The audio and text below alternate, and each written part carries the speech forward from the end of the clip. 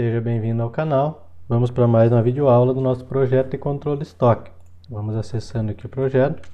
Usuário Luan, senha 25.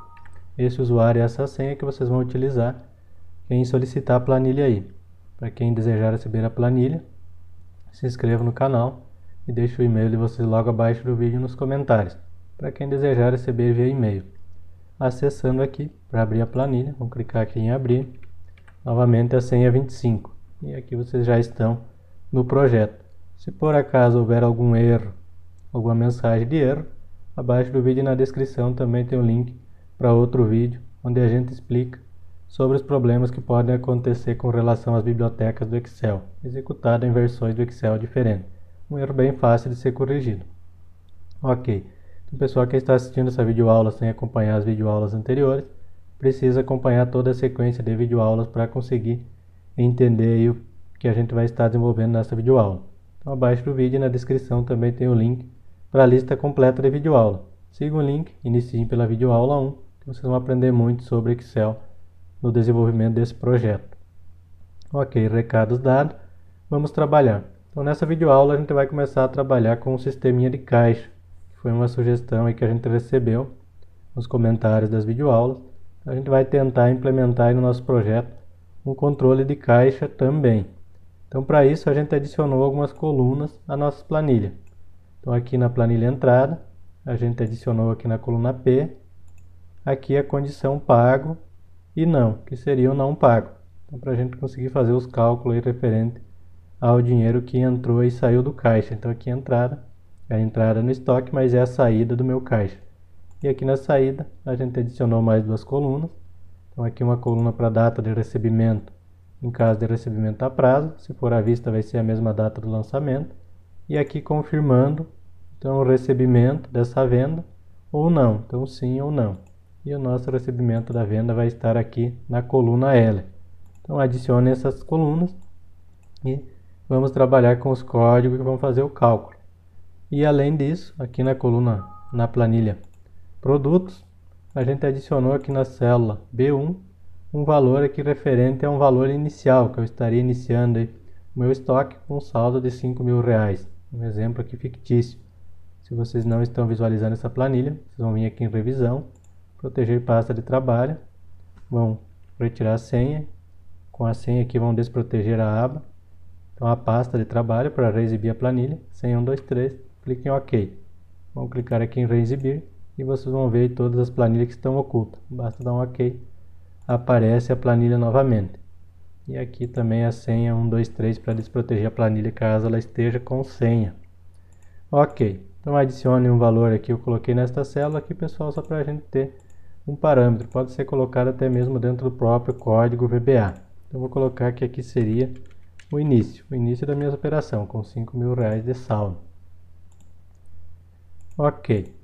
Agora vamos para o VBA, desenvolvedor, Visual Basic, módulo 2. Então aqui no módulo 2, pessoal, eu deixei os códigos de exemplo. vou só recortar eles aqui, mas vamos inserir um outro módulo, para a gente trabalhar aqui com outro módulo, somente com relação a procedimentos de, do caixa. Então módulo, já apareceu aqui o módulo 3. Então aqui já vou colar aqui os códigos de exemplo. Deixa eu vir aqui no estoque. Aqui no estoque a gente vai precisar inserir mais uma página, mas vamos inserir depois. Vou clicar aqui no módulo 3. Vamos mudar o name do módulo 3 aqui. Vamos deixar o nome dele de... Vamos deixar ele M caixa, que seria o nosso módulo, então referente ao caixa. Posso fechar a propriedade, voltei aqui no meu M caixa e vamos trabalhar com os códigos aqui iniciando os procedimentos de cálculo de entrada e saída de recurso. Então, sub caixa, um enter, já criou meu procedimento. Vou colocar o sistema de tratamento de erro, on error, go to erro, aqui o exit sub caso tudo correu bem. Se deu erro, dois pontos desvia para um AMSG box, abre aspas, vou colocar aqui deu erro, ponto de exclamação, fecho aspas, vírgula Tentou a mensagem do VB crítico, que é a mensagem vermelha, vírgula, com o título que o erro foi no meu caixa. E aqui vamos colocar então os códigos que vão trabalhar dentro desse sistema de tratamento de erro. Aqui a gente vai precisar de algumas variáveis. Então, din, vou precisar de, um, de uma variável chamada recebido, que é o que eu recebi, outra variável chamada pago, outra então que é o início da minha operação, e outra aqui chamada de saldo, que é o que vai restar em caixa positivo ou negativo. Caixa negativo não existe, pessoal, porque se não conseguimos dar conta com o nosso recurso, precisa, no caso, aí, ter uma fonte de financiamento. Ok. Então aqui agora vamos começar pela recebido. O que, que vai ser o recebido? Vai ser o que vai vir das minhas vendas. Que vai ser a soma da coluna L se o recebimento foi confirmado na coluna O. Então vamos trabalhar aqui com a worksheet function. Igual, vamos colocar nossa função de somas. Worksheet function ponto. Se vocês colocar ponto e não aparecer nenhuma opção é porque escreveram errado. Então já voltem no código e vejam se tem algo de errado. Somas.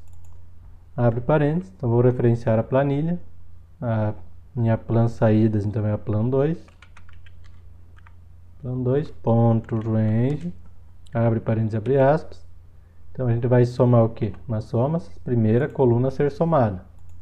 A coluna L, a partir da célula L5. Então, vamos lá. L5, dois pontos, até L, 10, 100, 1000, 10 mil, 100 mil, 1 milhão. Vírgula, agora vou referenciar a coluna critério, também vem da plan 2.range, parênteses, abre aspas. Então, onde que a gente vai considerar o critério? Na coluna O. Se tiver sim, entrou no nosso caixa, já foi confirmada a entrada. Se tiver não, ainda não entrou essa venda. Então, a partir aqui da célula O5. Tem que ser o mesmo intervalo que a gente colocou na coluna L. Então, aqui também vai ter que ser até a linha 1 milhão. Então, 10, 100, 1000, 10 mil, 100 mil, 1 milhão. Parênteses. E fecho aspas. Agora o critério. Então o critério vai ser se tiver a palavra sim na coluna P, aí sim vai somar. Agora, o que foi pago vai sair aqui da plano entrada, que é aqui na coluna F o valor. Então, se o pagamento foi confirmado aqui na coluna P, esse dinheiro de fato saiu do caixa. Então, eu adicionei essas colunas, pessoal. Então, adicionem na planilha de vocês também. Ok, vamos lá então fazer a outra função, que vai pegar o que saiu do caixa. Copiei a função, só vou mudar aqui. E vou mudar a planilha referenciada, que agora vou trabalhar com a plan 1. Primeiro, coluna ser somada. Então, aqui a coluna F, onde é a coluna valores, a partir da F5. E aqui plan 1 onde vai estar o critério, então vai estar na coluna P, como a gente viu lá. Coluna P. Mas agora confirma o pagamento somente se tiver escrita a palavra pago. Vamos mudar aqui de sim para pago. Ok, com isso já temos então o que recebemos e o que pagamos. Agora vamos pegar aqui o início o início a gente colocou, então na plan 3, que é a plan produtos, na célula B1. Então vamos pegar esse valor de lá. Plan 3, pronto range, parênteses, abre aspas, célula B1, fecho aspas, fecho parênteses, ponto vale. Aqui eu poderia jogar direto para uma label ou o objeto VBA que a gente desejar aqui no nosso formulário estoque. Então antes da gente prosseguir aqui, Vamos colocar aqui só uma variável, talvez essa salda aqui, fazer o cálculo, depois a gente vai lá para o formulário estoque, onde a gente vai criar uma aba para o caixa. Então o saldo vai ser igual o que? O início mais o recebido menos o que foi pago. Já vai trazer o resultado. Se a gente utilizar aqui uma MSG Box, a gente já consegue ver o resultado. Fecho, abre e fecho aspas, um e comercial e a nossa variável chamada saldo. Vamos executar pela tecla F8. E aqui apareceu 103.191 negativo. Eu tive muito mais lançamentos aqui de pagamentos do que vendas. Então por isso que meu saldo aqui de caixa está negativo aqui no nosso exemplo.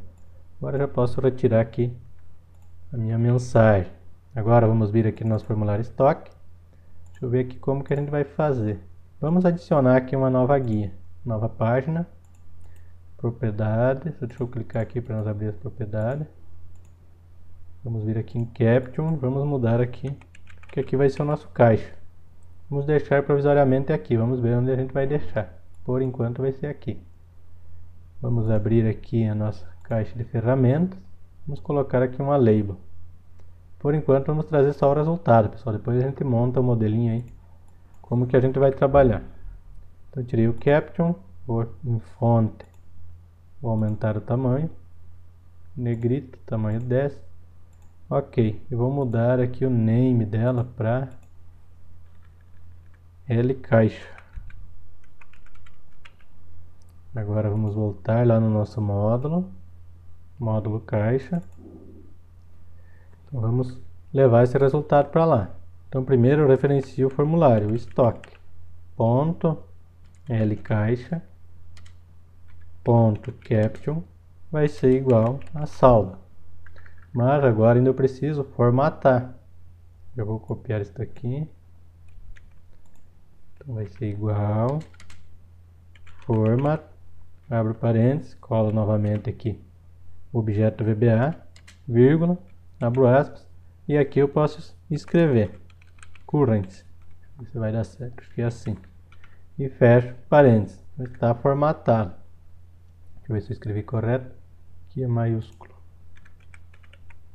current, exato, agora nós vamos chamar lá este procedimento no nosso formulário estoque. Salvei. Então aqui eu vou dar um duplo clique sobre o multipage. E aqui eu vou só colocar esta condição aqui. É a terceira página, mas a contagem inicia por zero. Então vou colocar aqui if multipage 1 ponto vale for igual à página 2, que no caso é a terceira, já que a contagem inicia em zero.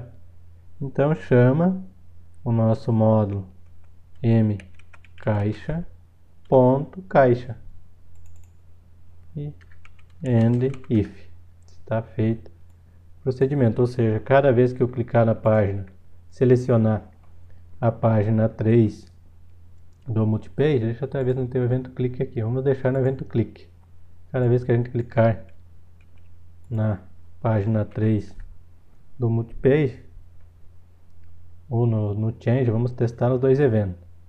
Aquele que funcionar melhor a gente deixa, se é no clique ou se é no, no evento de seleção. Então cliquei aqui já apareceu, vou ter que aumentar aqui o tamanho.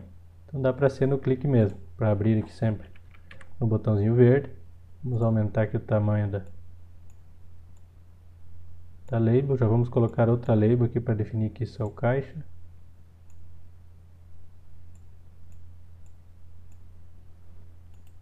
propriedades caption caixa vamos em fonte. Negrito também tamanho 10 vamos ver agora se ficou melhor. Cliquei aqui apareceu o valor 103.191 então a gente vai vendo aqui depois os outros resultados que a gente vai e trazendo, sabe, vamos trazer aqui o recebido, pago e o início, fica um formato melhor. Então a gente vai vendo aí se vai colocando isto. Deixa eu ver quanto tempo temos de vídeo aula. 14 minutos. Vamos abrir aqui para voltar novamente 25. Aqui é o nosso M caixa. Então aqui a gente vai trabalhar com diversos procedimentos referente ao caixa. Então na próxima aula a gente vê se vai trazer o recebido, pago e o início lá no nosso formulário. Eu acredito que é interessante. Agora, pessoal, a gente vai demonstrar aqui uma sugestão que a gente recebeu aí de um inscrito. Aqui, pessoal, né, a gente tem que colocar, agora que eu lembrei, a gente tem que colocar então os objetos VBA que vão levar esta condição aqui, ó.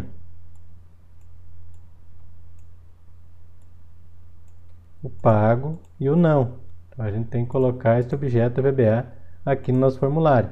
Então aqui eu diminui o tamanho da C, da C pagamento e coloquei aqui a C recebido. Vamos fazer aqui tudo novamente. Então aqui o meu formulário estava assim. Eu peguei e reduzi o tamanho aqui. Ctrl C, Ctrl V, só copiei, cadê aqui? Coloquei mais uma combo box. E coloquei o nome dessa combo box de recebimento. O nome não, o caption. Propriedade já está aberto aqui. Vamos no caption. Então aqui é confirmar o recebimento. E aqui, então a gente já vai mudar o name dessa aqui também para ser recebimento. Ok, adicionamos. Opa, já tem esse nome, não pode ser o nome da. Acho que eu mudei o nome da. Já tem algum a ser recebimento. Então vamos mudar aqui. Ah, aqui é pagamento. Na entrada eu estou pagando. Então estou confirmando se eu já foi pago ou não. Então aqui vamos colocar ser pago. E aqui vamos mudar para pago, aqui não é recebimento. Então, pago. Vamos dar um duplo clique aqui agora sobre esse pagamento. Agora então se a nossa C pagamento tiver com opção à vista, ponto text for igual a à vista, fecho aspas. Então, a nossa C pago ponto add vai ser igual a, a pago, ou seja, não tem nada o que mudar. E agora, aqui em if, no entanto, se for a prazo, não foi pago. Não foi confirmado ainda o pagamento. Então podemos copiar aqui e colar. E mudamos aqui para a prazo. E aqui vamos colocar não.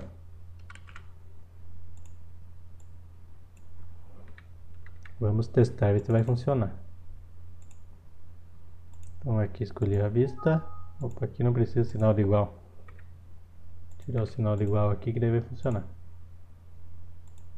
Então já colocou aqui o pago.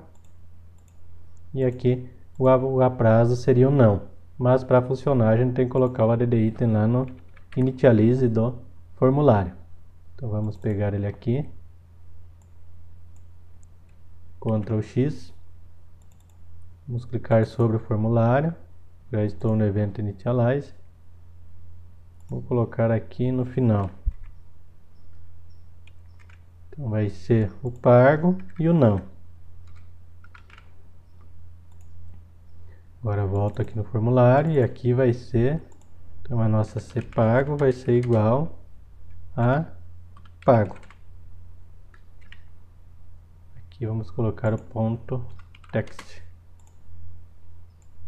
E na outra opção, se for a prazo, eu não estou pagando. Então aqui vai ser o não, para a gente tentar automatizar agora. Então vamos ver. A vista, então foi pago, prazo, não. Mas eu ainda posso escolher aqui sim ou não. Então vamos deixar livre aqui para a gente escolher. Já que a gente está falando aqui de bloquear ou desbloquear, pessoal, já que não vai dar tempo da gente concluir tudo nessa videoaula, vamos deixar aqui uma dica que a gente recebeu nos comentários dos vídeos. Vamos demonstrar aqui um exemplo.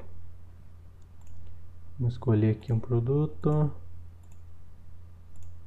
Fornecedor, uma quantidade de 10.